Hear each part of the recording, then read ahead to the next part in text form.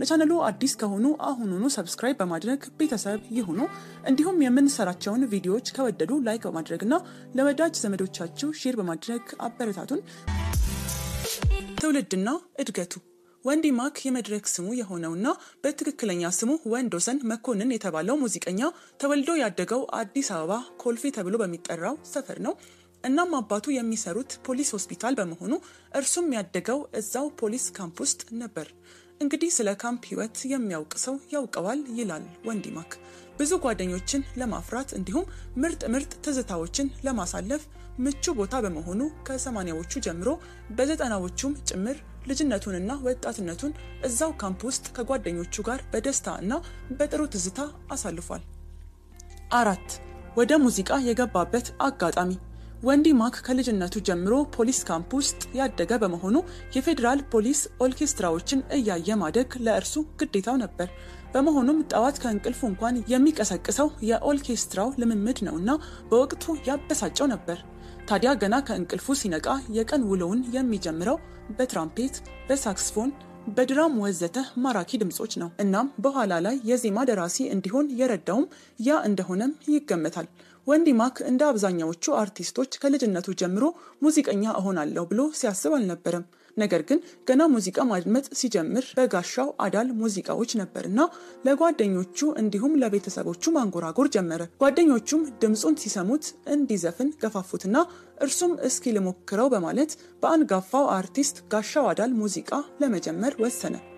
ነገር ግን አርቲስቱ በሕይወት ባለመኖሩና የአርቲስቱም ቤተሰቦች በአብዛኛው ከኢትዮጵያ ውጪ በመኖራቸው ማንን ማስፈቀድ እንዳለበት ግራ ገብቶትም ነበር። ታዲያ ሙዚቃውን በራሱ ከለር በመስራት ለሕዝብ ሲለቀው እጅግ ተደማጭነትንና ተወዳጅነትን ለማፍራት በመቻሉ ወዲያው የራሱን ስራም መልቀቅ እንዳለበት ራሱን አሳመነ። የአርቲስት ጋሻው ቤተሰቦችም በሰራው ስራ አመስግነውት አበረታቱት። እርሱም ወዲያው ታገቢኛለሽ የሚል በአይነቱ ለየት ያለ ሙዚቃ ሲለቅ በሰፊው አነጋጋሪ ከመሆኑም በላይ የታገቢኛለሽ ወይ ሙዚቃ ሁለተኛ ክፍል የሆነውን እስክንጃጅ የተሰኘ ሙዚቃ ወዲያው አከታትሎ ለህዝብ ጆሮ አደረሰ። እናም ወንዲ ማክ በዚህ መልኩ ነበር ወደ ሙዚቃው ዓለም የገባው። ሶስት ከዚህ ቀደም የሰራቸው ስራዎችና አልበም ያልሰራበት ምክንያት ወንዲ ማክ የራሱን ሙዚቃዎች ጨምሮ ለተለያዩ አርቲስቶች ግጥምና ዜማ በመስጠት ይታወቃል።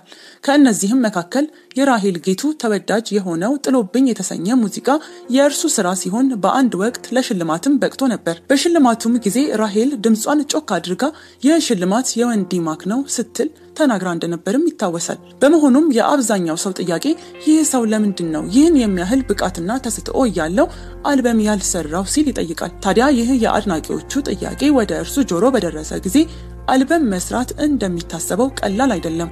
በጣም ጊዜና ገንዘብ የሚጠይቅ ትልቅ ነገር ነው። በዚያም ላይ ወደ ህዝብ በፈለግነው መጠንና ጊዜ መድረስ ከፈለግን ከአልበም ይልቅ ነጠላ ዜማ ይመረጣል።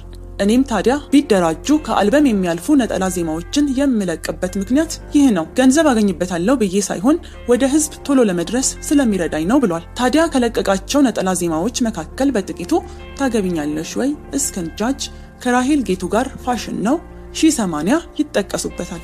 ከወንዲ ማክ በቅርቡ ምን እንጠብቅ?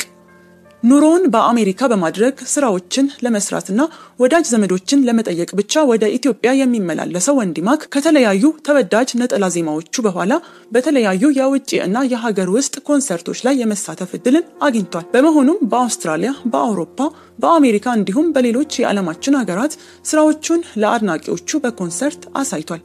ታዲያ ይህ ሰው በቅርቡ አልበም ለመልቀቅ ዝግጅቱን የጨረሰ ሲሆን ከ80 percent በላይ ያለቀ የአልበም ስራ ላይ ይገኛል። ይህም ዜና በጉጉት ለሚጠብቁት አድናቂዎቹ መልካም ዜና እና አዲስ ነገር ነውም ተብሏል። አንድ የፍቅር ህይወቱ ወንዲ ማክ ለመጀመሪያ ጊዜ ታገቢኛለሽ ወይ የሚል ሙዚቃ ለህዝብ ጆሮ ሲያደርስ እዛው ሙዚቃ ላይ ሞዴል ሆና የምትተውነዋን ወጣት ሊያገባት ነው፣ ሙዚቃውንም ለእርሷ ነው የዘፈነው በሚል መነጋገሪያ ሆኖ ነበር። ታዲያ እርሱ ግን በአንድ ወቅት ወደ ሚዲያ ቀርቦ እኔ በዚህ ሰዓት ፍቅረኛዬ ስራዬ ነው፣ ለጊዜው ምንም አይነት ፍቅረኛ የለኝም ሲል ተናገረ። በዚህም ምክንያት ማህበራዊ ሚዲያው ከእርሱ የፍቅር ወሬ ራሱን ገለል አድርጎ ነበር። ነገር ግን ውሎ ሲያድር አሁንም ወንዲ ማክ ከኤፍሬም ታምሩ ሴት ልጅ ጋር የጦፈ ፍቅር ውስጥ ነው፣ እንደውም በቅርቡ ያገባታል ተባለለት። ታዲያ እርሱ ደግሞ ወደ ሚዲያ በቀረበበት ጊዜ እንደውም ኤፍሬም ታምሩ ሴት ልጅ እንዳለው ያወቅኩት ራሱ ከዚህ ወሬ በኋላ ነው በእርግጥ ኤፍሬም ታምሩ እጅግ የማደንቀው ምርጥ አርቲስት ቢሆንም ከእርሱ ልጆች ጋር ግን ምንም አይነት ትውውቅ የለኝም ሲል ምላሽ ሰጥቷል። በመሆኑም በአሁኑ ሰዓት ስለ ወንዲማክ የፍቅር ግንኙነት እርግጥ የሆነ ነገር ባይኖርም ልክ መረጃውን እንዳገኘን የምናደርሳችሁ ይሆናል።